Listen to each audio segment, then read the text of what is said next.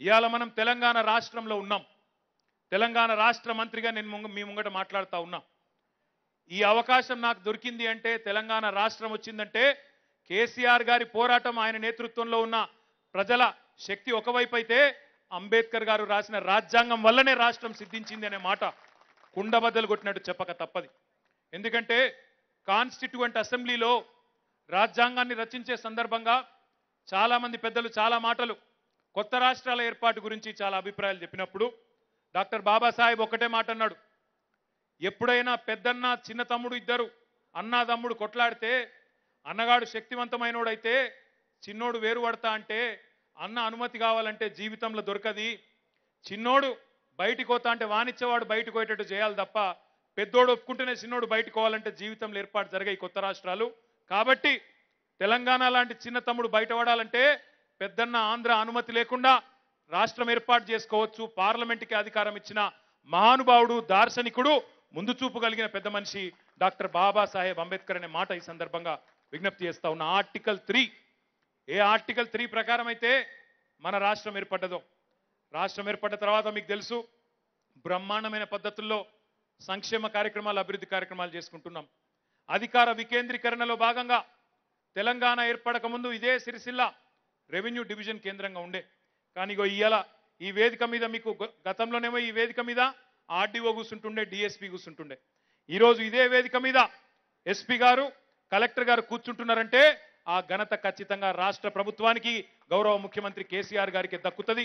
అధికార వికేంద్రీకరణలో భాగంగా ప్రజల దగ్గరికి పరిపాలన తీసుకుపోవాలన్న ఉద్దేశంతో కొత్త జిల్లాలు ఏర్పాటు చేసుకున్నాం. కొత్త రెవెన్యూ డివిజన్లు ఏర్పాటు చేసుకున్నాం. కొత్త మండలాలు ఏర్పాటు చేసుకున్నాం.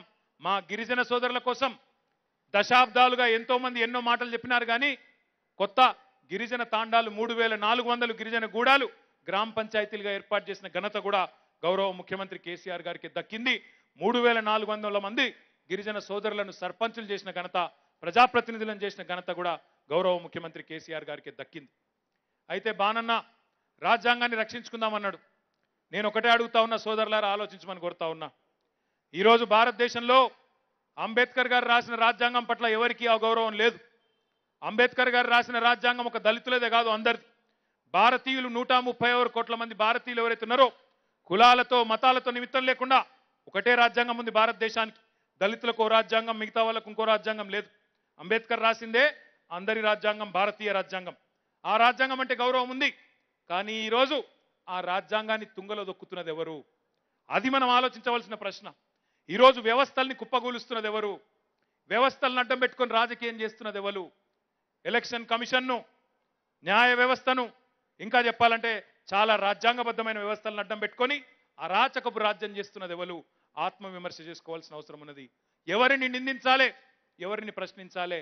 ఆలోచన చేయవలసిన అవసరం ఉన్నది. మన రాష్ట్రంలో తొమ్మిది వందల డెబ్బై మూడు గురుకుల పాఠశాలలు పెట్టి ఒక్కో విద్యార్థి మీద ఒక్కో విద్యార్థిని మీద ఎస్సీ కావచ్చు ఎస్టీ కావచ్చు బీసీ కావచ్చు మైనారిటీ కావచ్చు ఒక్కో విద్యార్థి మీద విద్యార్థిని మీద లక్ష ఇరవై ఐదు వేల రూపాయలు ఖర్చు పెట్టి సంవత్సరానికి ఆరు వేల కోట్ల రూపాయలు ఖర్చు పెట్టి పేదింటి పిల్లలు ఐదు లక్షల మందికి పుస్తకాలు బట్టలు బూట్లు భోజనం సక్రం మొత్తం సవలతంతా కూడా చూసి బ్రహ్మాండంగా చదువు చెప్పిస్తున్న తెలంగాణ ప్రభుత్వం దా తప్పు.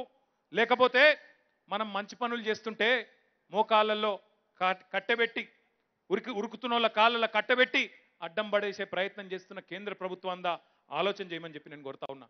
ఎవరిని విమర్శించాలి? ఎవరిని ఖండించాలి?